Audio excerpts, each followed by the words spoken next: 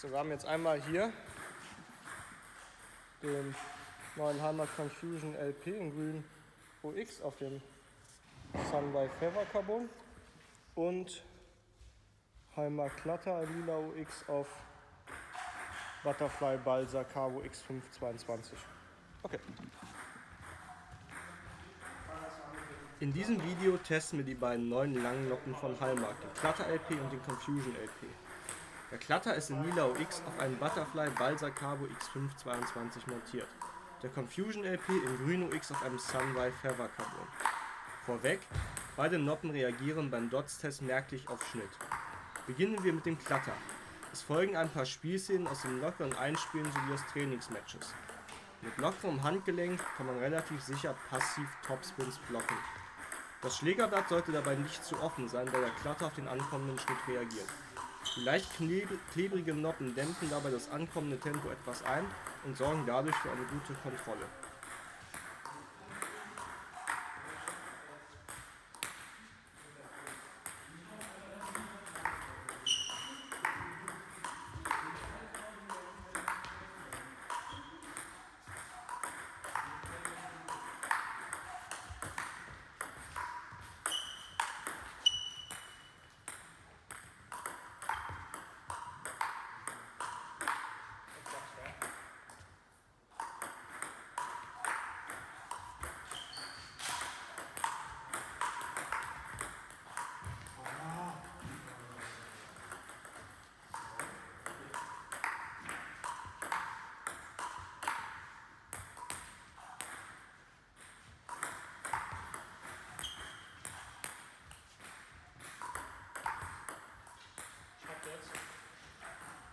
Deutlich gefährlicher wird es, wenn aktiv in den Ball gegangen wird. Beim Hackblock entstehen teils sehr krumme Flugbahnen sowie eine ordentliche Portion Unterschnitt, die das Nachziehen erschwert. Durch die flexiblen Noppen kann man recht lang und hart in den Ball reinhacken.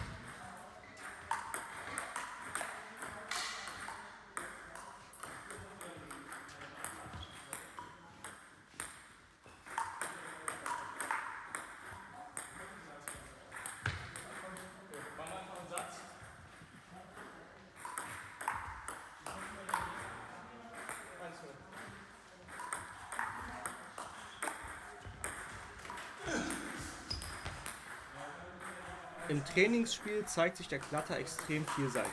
Aktiv gespielt wirkt der Belag nicht mehr so schnittanfällig. Aufschläge lassen sich flach und kurz per Seitwischer retournieren oder auch leicht anflippen. Ein diagonaler Druckschupf taucht ebenfalls sehr fies ab und sorgt für leichte Fehler des Gegners. Im offensiven Spiel lassen sich die Bälle gut platzieren. Im Noppe ist hierbei nicht zu schnell.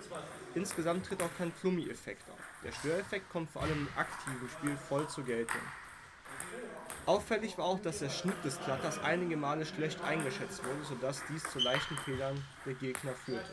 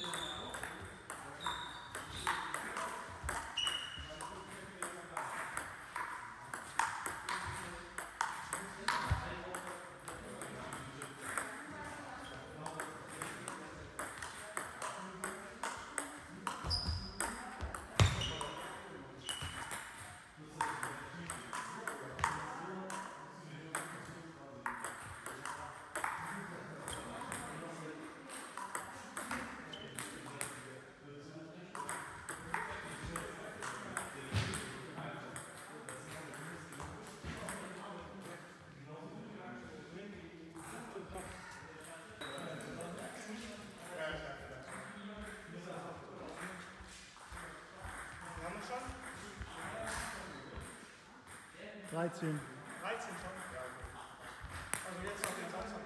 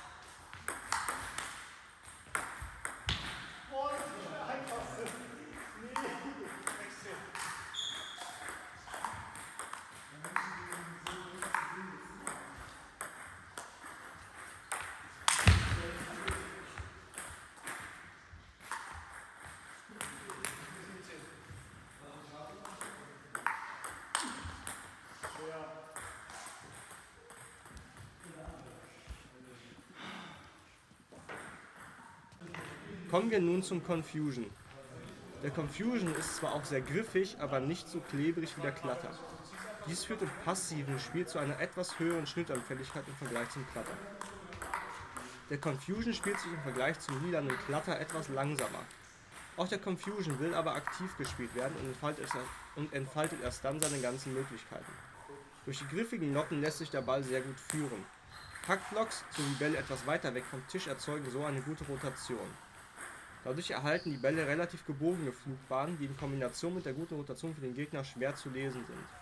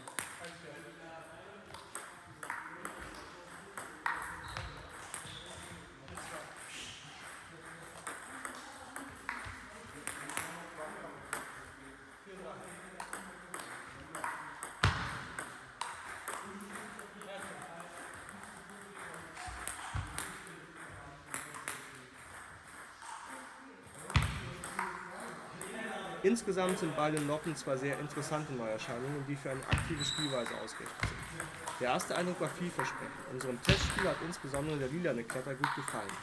Hier bleibt abzuwarten, inwiefern die Klebigkeit nach mehreren Spielstunden nachlässt und welche Auswirkungen dies auf die Spieleinstellungen hat.